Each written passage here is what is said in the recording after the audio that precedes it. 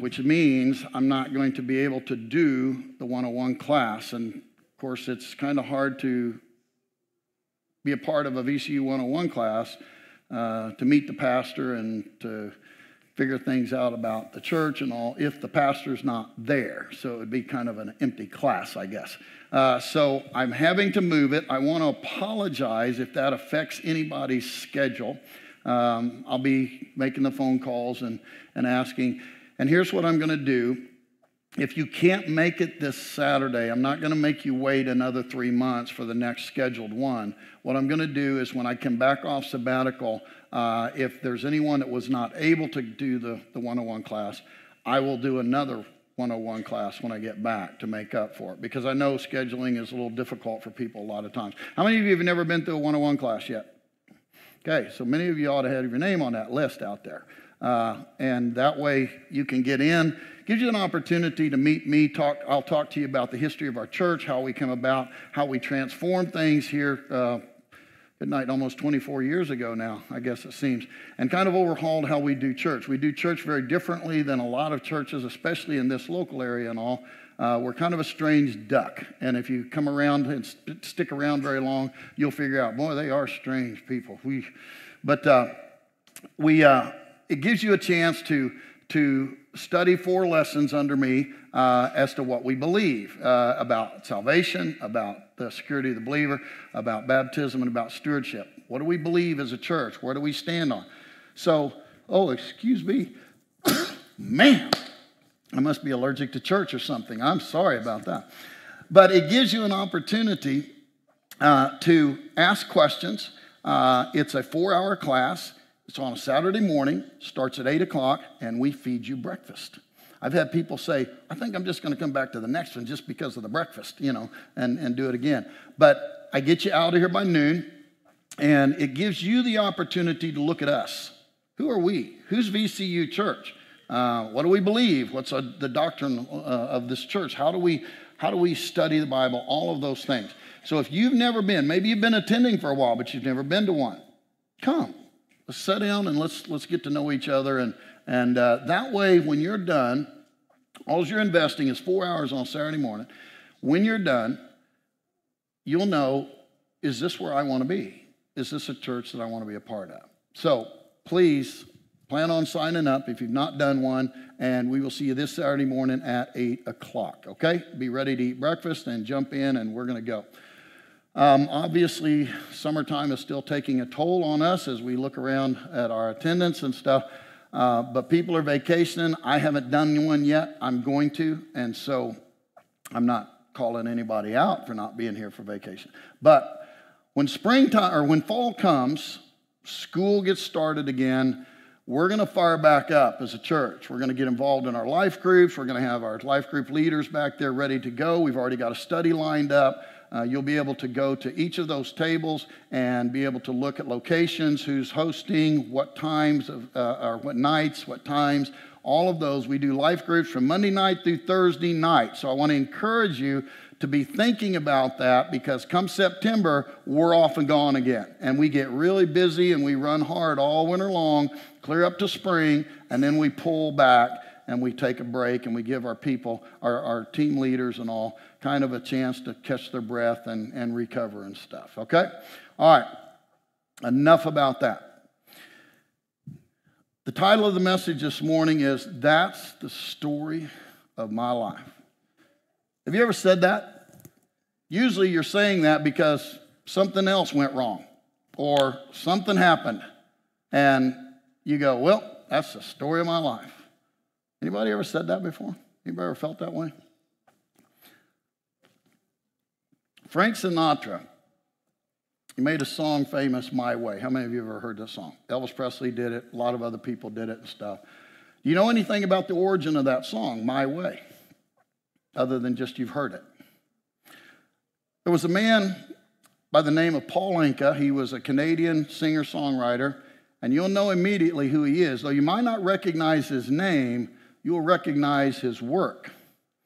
He wrote the song Put Your Head on My Shoulder. Those of you that are older like me, um, you will know that. Um, he wrote the song Puppy Love.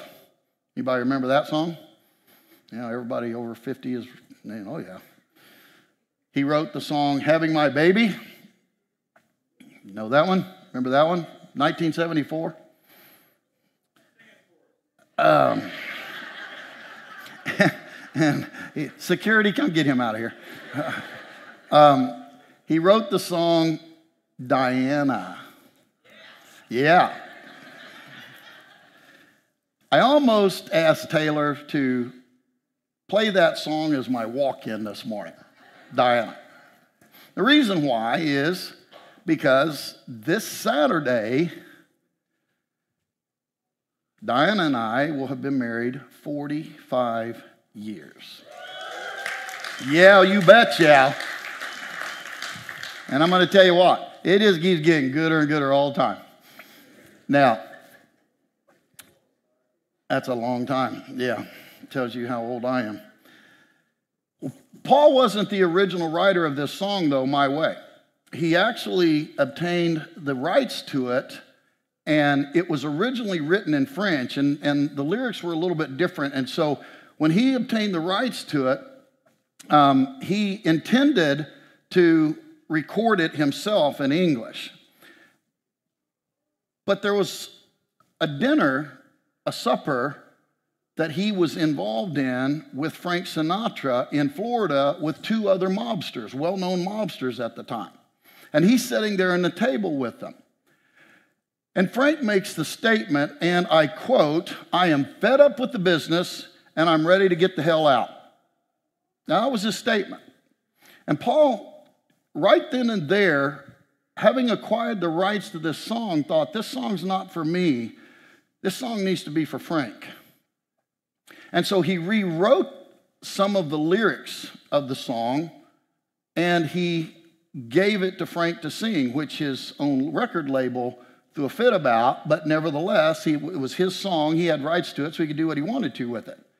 And so he gave it to Frank to sing, kind of as a tribute to I'm stepping out of the business. I'm, I'm, I'm kind of stepping away. It's, this was in 1969.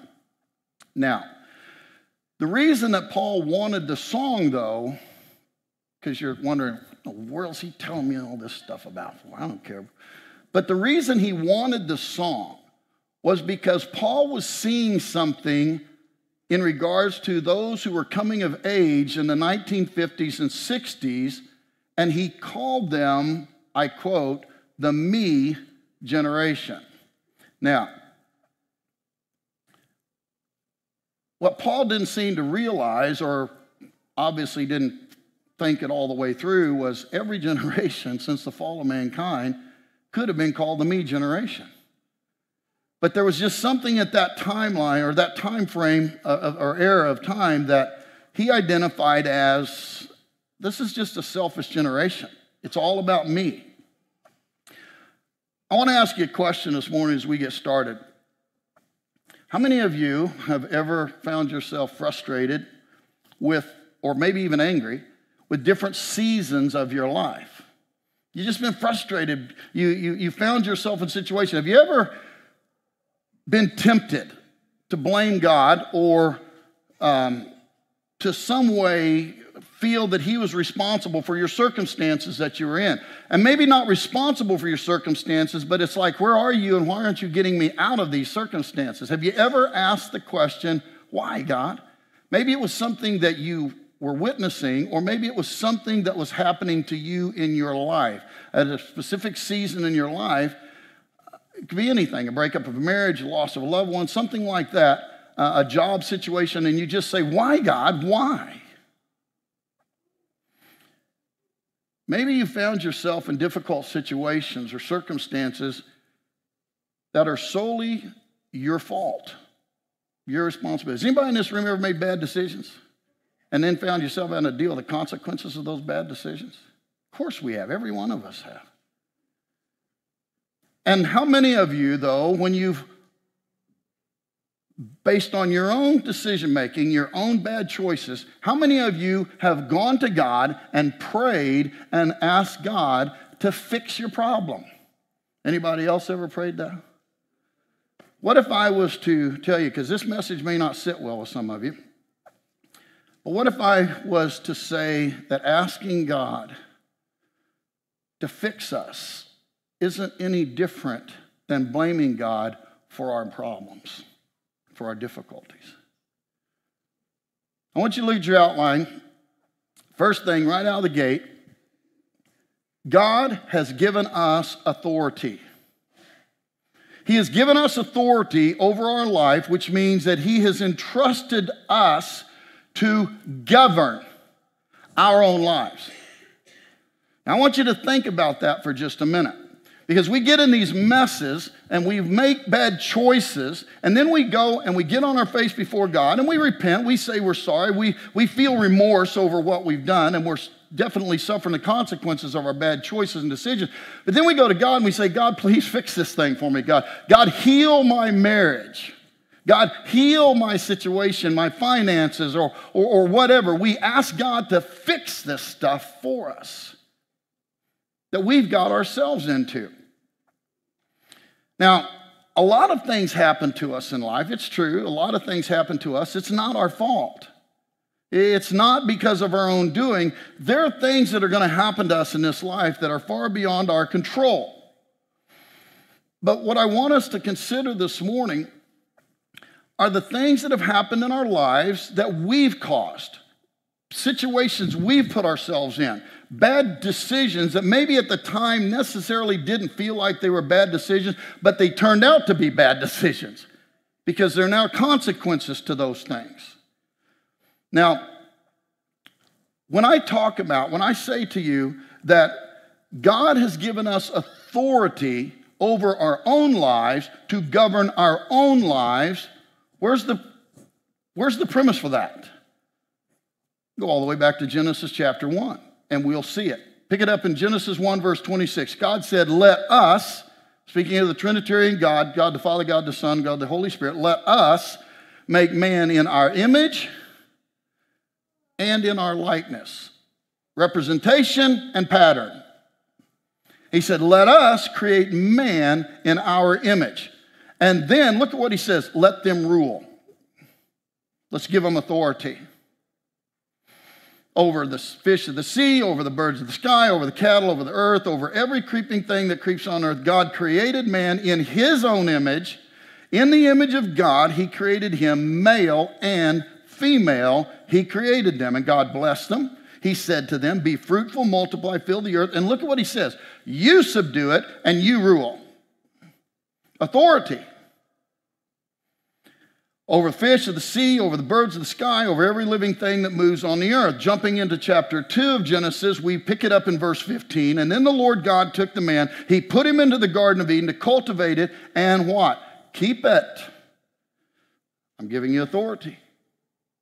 And the Lord God commanded man, and he said, From any tree of the garden you may eat freely, but from the tree of the knowledge of good and evil you shall not eat, for in the day that you eat from it you shall surely die. And the Lord God said, It is not good for man to be alone, for I will make him a helper suitable for him. And out of the ground the Lord formed every beast of the field and every bird of the sky. And look at this, he brought them to the man to see what the man would call them whatever the man called them, a living creature. That was his name. The man gave names to all the cattle, the birds of the sky, and to every beast of the field, but for Adam there was no, not found a helper suitable for him. When God created man, it was always his intention to, to impute to him authority to govern his own life. That is why the tree of knowledge of good and evil was in the garden. It wasn't a curse. It wasn't there to be a temptation. It was there to be an opportunity. God instilled in man authority. He gave him authority, and he said, Now you govern. Now here's the rules of law you can eat of all these trees, can't eat of this one. But you govern. See, he put it all on man. Now we love that privilege. We love the idea that God gave us authority to govern our own lives, right? We love that. So much that we tend to abuse it. You see, as long as things are going well, we want to be the driver. We want to govern. We want to choose for ourselves. We love that. We relish the fact that God has given us authority over our lives. That is, until things don't go so well. And then when they don't go so well, because we've abused the authority to govern our lives well, it's like, okay, God, you got to get in and fix this mess. And God says, well, I didn't create it. I didn't do it. I didn't cause this. Adam did a great job. He was phenomenal at governing until he wasn't. And then, when he found himself in a mess due to his lack of governing well, what was his reaction? The same as ours blame shift. What's her? It's the conditions that I grew up in. It's my mom and dad's fault. It's the environment, the, the, the lack of being able to have a good job. Uh, we blame shift. Go to your outline. Personal question How do I address the circumstances in my life that I've created myself? Do you deflect blame towards others or circumstances? It's true. It is absolutely true. Some of you have been victimized.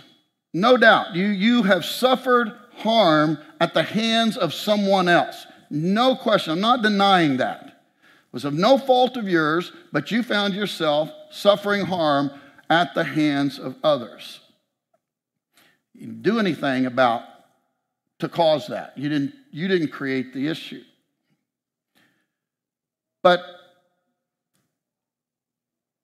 how you react and how you respond is paramount to the outcome of your circumstances. Now, maybe, and this is a hard one for people to swallow, maybe God is responsible for some of the things that we find ourselves struggling with and dealing with in difficulties in life. You know, David said in Psalm 119, 71, he said, I thank God for the affliction you brought into my life. Now, why, why would he and how could anyone pray that? David goes on in that verse of scripture and he says, Because it was the affliction you brought that caused me to learn your commandments, your statutes, your decrees. It caused me to draw close to you. It was the affliction you brought. The same can be true for us, depending on how we react or how we respond, that the affliction that someone else may bring to us can do the same thing. It can draw us into that relationship with the Lord that He desires for us. It, it, it, the same is also true when we've made bad choices. We've made bad, situa- bad uh, decisions that have got us into situations. Any and all circumstances are opportunities, guys, for us to turn the ship around, for us to govern well when we haven't governed well or someone else hasn't governed well. In Luke chapter 6, Jesus speaking here, look at what he says. Why do you call me Lord, Lord? Now, this is an amazing question. It's a powerful question for Christians to be thinking about because we want to govern our own lives. We want to do our own things until it doesn't work well for us. And then we want to go to Him and say, Lord, Lord, you got to fix this, man. You got to take care of this. Help me, help me, help me. And Jesus says, Why do you call me Lord, Lord? and do not what I say. Everyone who comes to me, hears my words, and acts on them, I'll show you whom he is like. He's like a man building a house. We're going to reference this here in just a little bit. He's like a man building a house who dug deep, laid a foundation on rock, and when the flood occurred, the torrent burst against that house and could not shake it because it had been built well. But the other one who has heard and not acted accordingly is like a man who built a house on ground without any foundation, and the torrent burst against it, and immediately it collapsed, and the ruin of that house was great. Remember, the context of this message is about you and me making bad decisions, getting ourselves in messes, and then we want God to bail us out. We want God to fix it. And Jesus said, Why do you call me Lord, Lord? Why are you coming to me now when you've caused the issue? You've made a bad decision, you've made a bad choice. When we think about God giving us authority to govern our own lives, what does he mean then when he says, Do what I say? Because if we have go- the authority to govern our own lives, why does it seem like the Lord is kind of removing that or taking that away from us? Commanding us that we obey him. Well, if, if we have the authority to govern, yet he's commanding us to obey him, it seems like there's a conflict in regards to the authority over our own lives. I want you to look at your outline again, guys. The issue isn't that we have the authority to govern our own lives, but how will we govern our own lives? See, the privilege of authority lies in how we use our authority.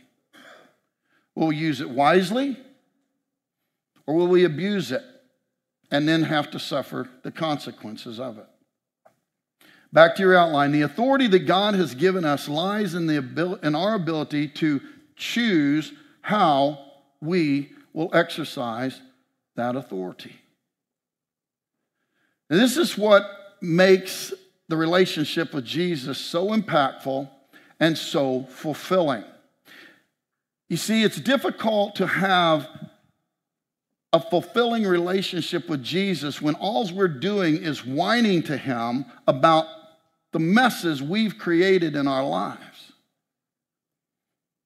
Joshua spoke to this authority when he spoke to the people of Israel in Joshua 24, verse 14 and 15. Now, therefore, fear the Lord, serve him in sincerity and truth, put away the gods which your fathers served beyond the river and in, in, in Egypt, and serve the Lord.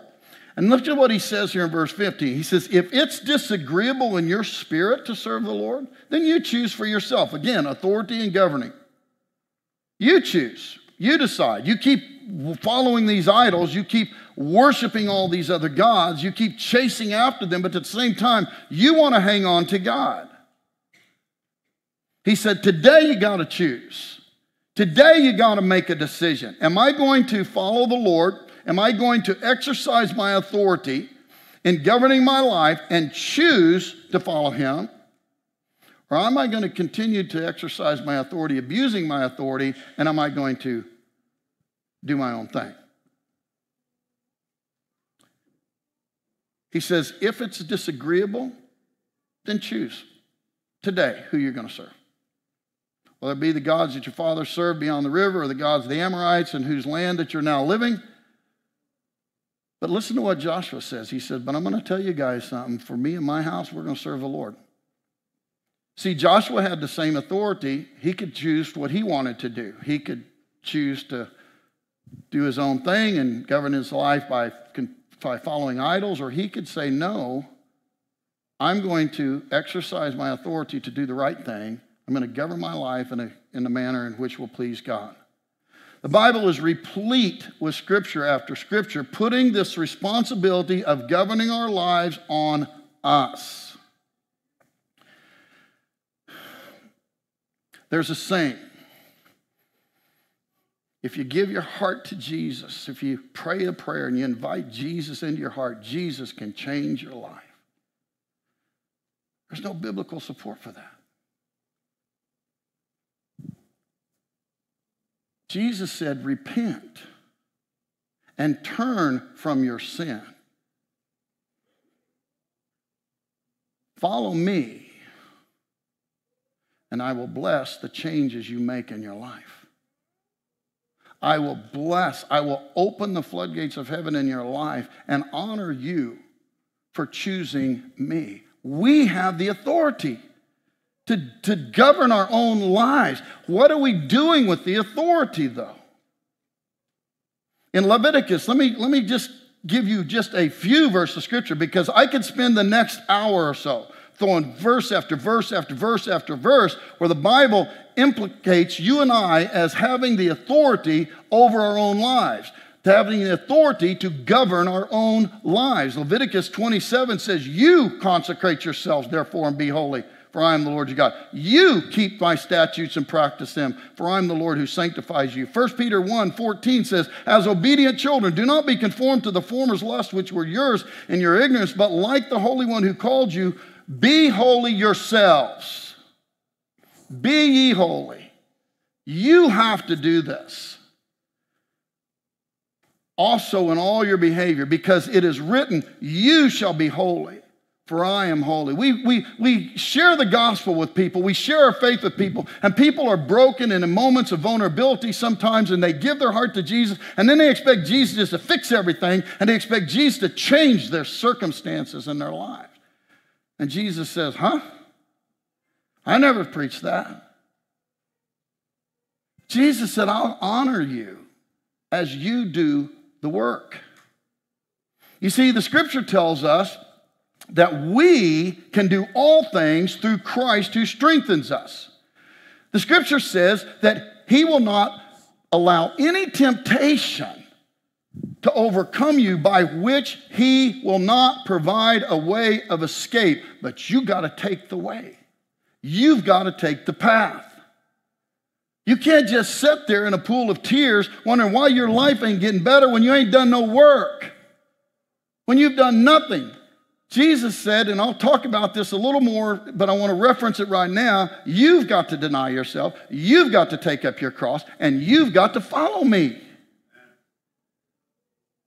But so many in the church are thinking, well, God is just a God of grace and He's just a God of love and, and, and He's just going to take care of all of this for me. He's not. When the rich young ruler came to him, you remember that story? The rich young ruler, he said, What must I do to be saved? He said, Go sell all your possessions. Why? Because he had an idol in his life. He had a God in his life. He says, You got to get rid of that. When he called Gideon to go to lead Israel uh, in, in, battle against their enemies and stuff, he said, You are going to have to kill a fatted calf. You're going to have to tear down your dad's altars and burn them. You're going to have to do this. Then, then, when you do that and you build an altar to me, watch what I do. Are you starting to connect here a minute? Too many people are sitting around expecting God to fix them, expecting God to change them. God says, I can't, I can't change you. You have the authority to govern your own life. I, I'm not going to interfere with that. I'm not going to get in your business and, and interfere with that. You have the authority to govern your own life. If you keep digging a hole, that's on you. If you keep doing the same thing, that's on you. If you don't change your behavior, that's on you. And the Lord will not interfere with you. He will not, uh, he will not get in that. But if you repent of that, which means change your way you think, and you begin to pursue Him, and you begin to obey Him, exercising your authority to govern your own life, then God, like the prodigal son's father, will put the ring on your finger, put the sandals on your feet, put the, put the royal robe on you, and he'll kill the fatted calf, and you'll enjoy the life that God wanted you to have. But even in that story, the prodigal son had to what? Come to his senses and return. Because the scripture says he was far away. But when he came home, when he took the action, the father ran to meet him, didn't he? 1 John chapter 3 verse 3 John says this everyone who has this hope fixed on him does what? Purifies himself just as he is pure. You know in Colossians 3 it's one of my favorite New Testament passages of scripture. You guys hear me say that stuff all the time he said, Well, you just said last week that that other was one of your favorite passages. This is one of my favorites. In, in Colossians chapter 3, Paul says, You put aside the old self. He said, You rid yourself of the deeds of the flesh and clothe yourself. You clothe yourself in the things of God. You know, last night, my smart aleck daughter in law, Audra, sitting back there, she called me out. Know, I'm trying to get, I mean, I look great as it is, don't you think? You know, but I need to try to take a little weight off here. And so I've been working on some things, changing my diet around a little bit, trying to get, you know, a little bit healthier. And uh, man, we was at the races last night, and I'm sitting there going, man, I'd really like to have a Snickers bar right now. And she said, you know, one of the characteristics of the fruit of the Spirit is self-control. I thought, you shut your little mouth. You know, I'm the patriarch of the family. What are you saying? But I didn't. I looked there and I said, You're right, you got me there. You see, I had every right to go buy me a Snickers bar. But I have to exercise self control. Now, the only other option would have been for Travis to have duct taped me in one of the chairs there in the race car trailer and said, You're not going to go get that. We see, God won't do that to us we want the Snickers bar, God will say, go ahead. You have the authority to do what you want. You have the authority to govern your own life. Or you also have the authority to tap into the source of our strength, which is the Holy Spirit of God, and exercise restraint and self control. No temptation will come upon you by what I will not provide a way of escape. But again, let me say, you got to take the route. You've got to take the, the way. He will provide you a way, but He's not going to grab your hand and drag you through it. You have to exercise the authority that has been imputed to you by God. Many of the messes we're in are our own doing. And the Lord says, get out of it. As I was raising Travis and Gavin, there was times in their lives as they were growing up which I refused to fix their problems. Oh, I could have. But it wasn't healthy for me to do that. It's not healthy for you, mamas, to always be doting over your children and fixing their messes and fixing their problems and picking up after them and cleaning up after them. You are setting them up for failure. There are times when God is may assist us, he may do something, he may orchestrate, and he does orchestrate the events around us, but he's providing us ways for us to do the right thing, for us to choose to believe if our faith is what it's supposed to be, to prove that our faith is real by the testing of our faith. Faith is not faith unless it's tested. He gives us the opportunity to put our money where our mouth is. And if we do, and we do correctly, and we react correctly, God says, okay, now, you just opened the door for me. You just gave me passageway to bless your life now because you're doing the work. In Luke 9, Jesus said this he was saying to them all, If anyone wishes to come after me, he must deny himself and take up his cross and follow me. That's on us. See, there were those in that parable that said, Well, I want to follow you, but first I need to. And Jesus said, Not worthy. Can't help you. Not going to make you. See, there are those in that story that were exercising the authority to govern their own lives, and Jesus was letting them do it.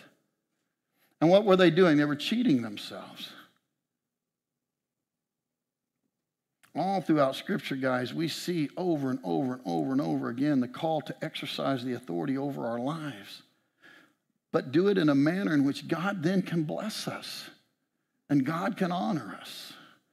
Now, let me say this again God will not and cannot fix your messes.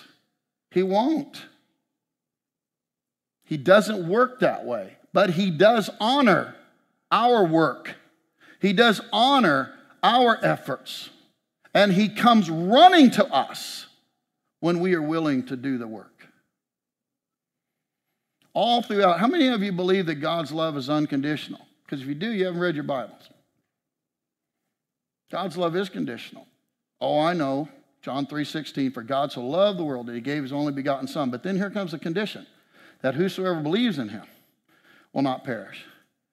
But whoever believeth not will perish. Condition, I don't care how you've cut that, it's coming up that way.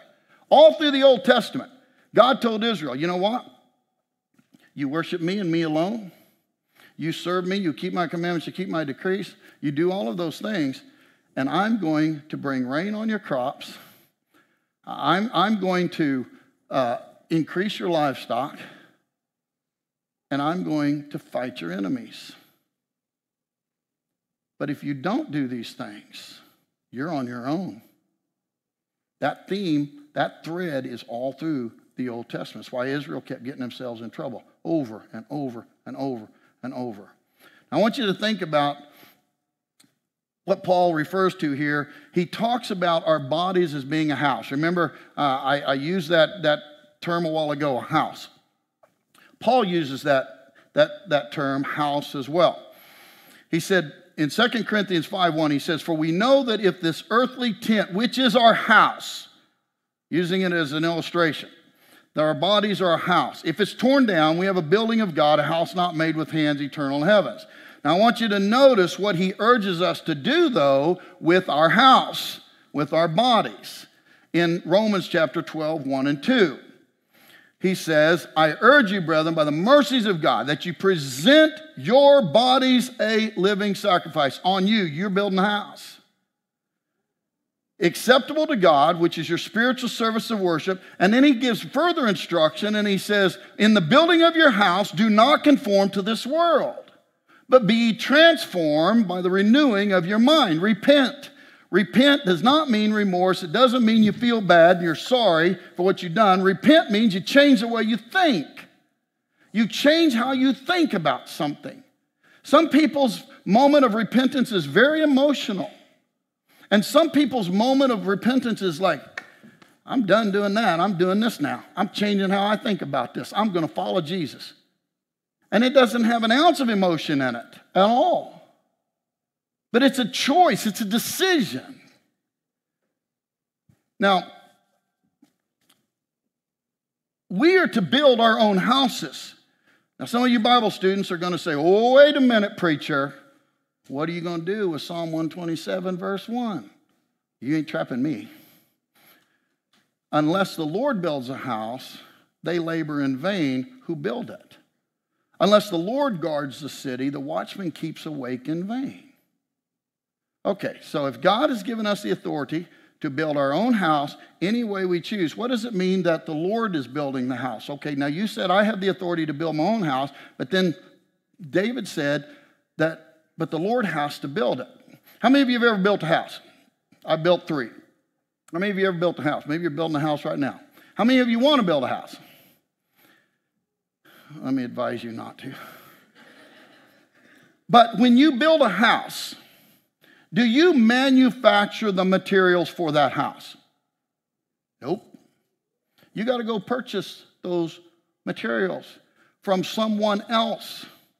Look at your outline, guys. In the purchasing process of building a house, you have to decide number one, what materials that you will use. Number two, how much are you willing to pay for those materials? And you do so depending on what? The quality of those materials. Now, a lot of contractors over the years have built up housing sub- subdivisions and stuff. And a lot of times, when a contractor is building up a housing division, he's looking for the cheapest material he can get because he wants to keep the cost down so he can make a lot more money on the back end of it or on the sale on the house. But the problem with that is the result of the house over the long haul may work really good in the beginning, but as time goes on, it starts costing the homeowner more money because it wasn't built with good quality material and it's not efficient. And so energy costs are out of control. It's got cheap windows in it, all kinds of things. And all at once now, you're spending a lot of money on the back end for something that wasn't used or didn't use good materials on the front end. The same is true in regards to how we build this house.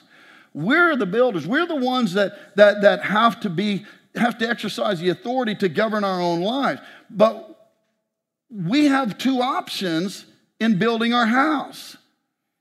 Do we get our material from God, from the Word of God, from Scripture, which will help us to avoid many pitfalls in life as we go through life, or we can get our materials from the world? We have the authority to decide where are we going to get our materials from to build the house? Now, here's the deal both sources are going to cost us, whether we get them from God or whether we get them from the world. The materials are going to cost us. Getting our material from the Lord, let me just tell you right up front, is going to be more costly. Getting your material from the Lord is going to be more costly on the front end. How do I know that? Deny yourself, take up your cross, follow him. What does that mean? Surrender, sacrifice, and work. Surrender, sacrifice, and work. It's more costly on the front end. When we repent and when we turn our lives over to the Lord and we begin to purchase materials or get materials from the Lord, it's costly. The Bible very clearly says that anyone who desires to live godly will suffer, will be persecuted. Or we can get our material from the world. Now, the thing is, getting our material from the Lord, although we have to pay more up front, the cost feels heavier up front. In the long end, it pays dividends. When we go to the world, which many do, even Christians, and we get our material from the world, guess what? That material is cheaper on the front end, and there's more choices. There's more options. But the material is not as good, and it will not last. It's always temporary. And so, but we got so many more options out there. But in the end, you pay a much higher price for the cheaper material. Where do you get your material from the Lord?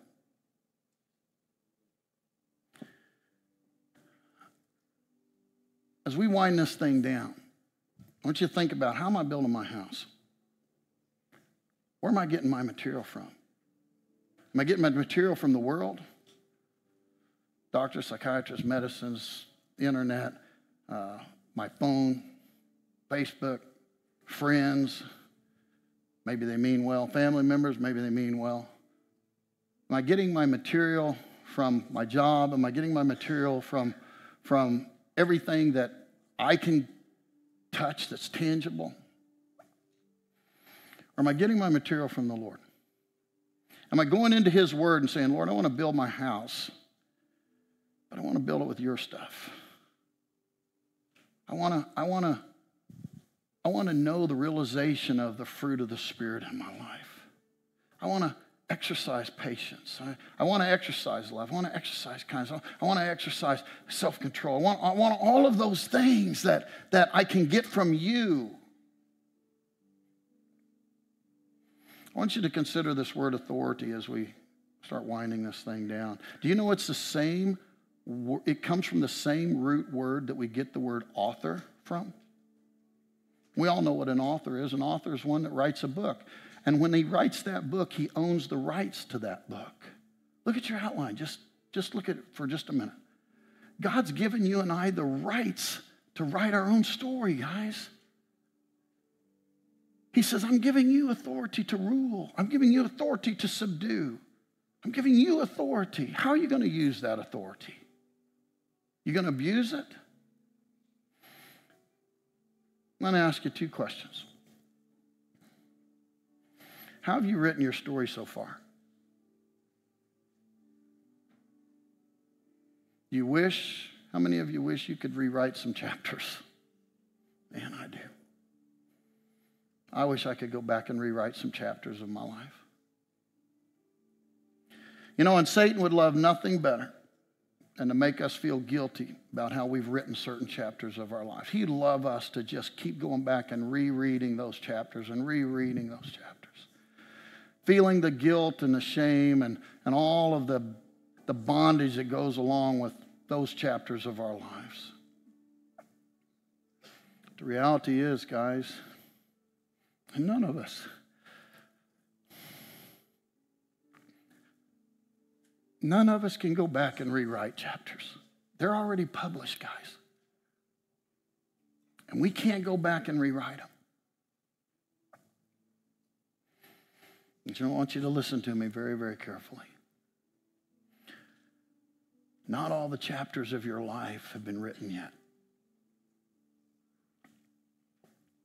And just because the earlier chapters of your life cannot be rewritten, they don't have to influence the remaining chapters. Amen? They don't have to influence the remaining chapters.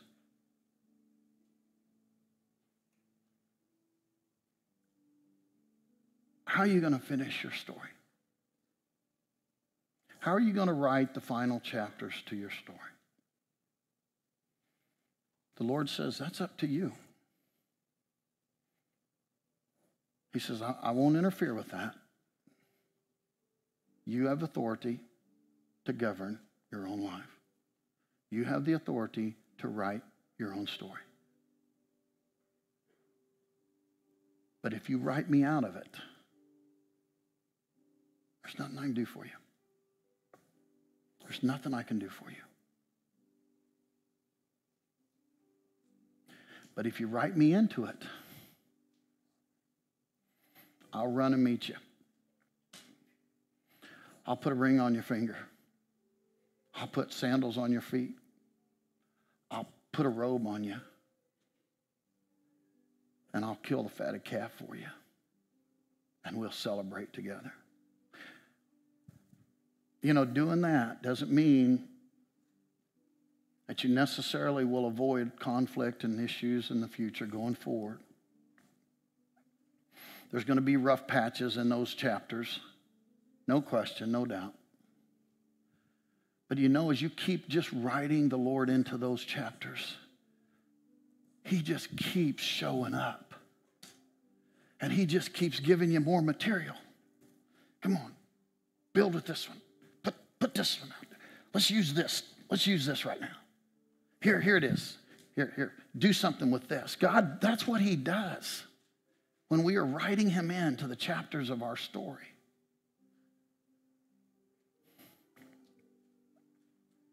When you finish your story, when you've written the story of your life and your life comes to an end, let me ask you this question What endorsement will the Lord Jesus write into your story?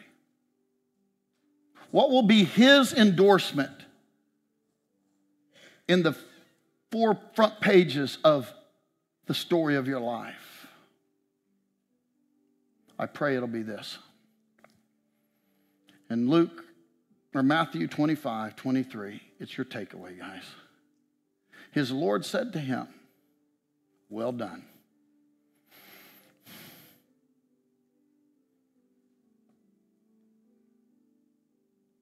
Well done, good and faithful servant.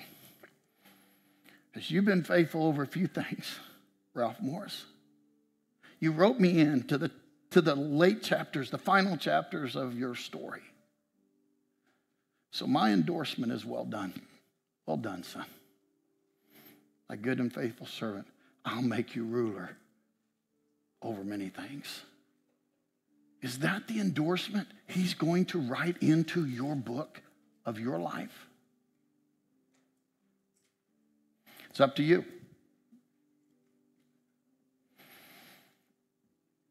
You're the author of your story.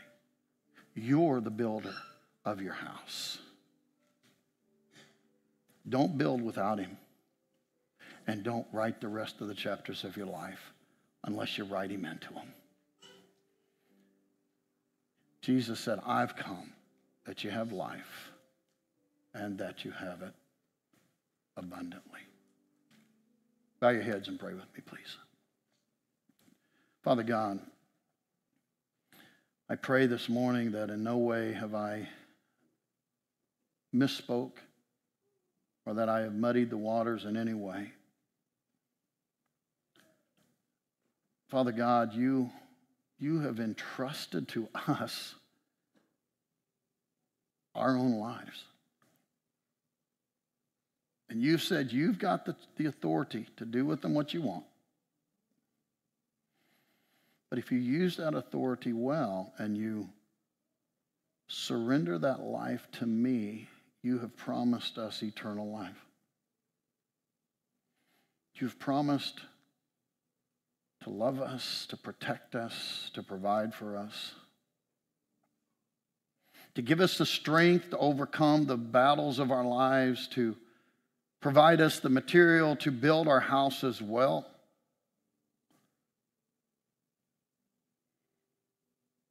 Father, I pray for everyone that is in this room right now or is listening to us online. That right now will be the day of salvation. Right now would be the beginning of a new chapter in their lives. Father, I give back to you authority over my life. And I pray that everyone listening will do the same thing, that they will come under your authority. They will submit to you as I desire to submit to, submit to you. You are Lord of my life, not me. And that's what I pray for all who are listening. Father, if today be the day of salvation for anyone in this room or anyone listening online, I pray right now that they would begin to repent of the sin in their life, change how they think about it, and turn from it. And they would begin to walk with you, trusting you to provide the material, to provide the strength to provide the resource to build a life well lived. So that in the end, we enter in to your joy. We enter in to eternal life forever and ever with you. I pray that in your name, Jesus. Amen. This morning, if you have prayed,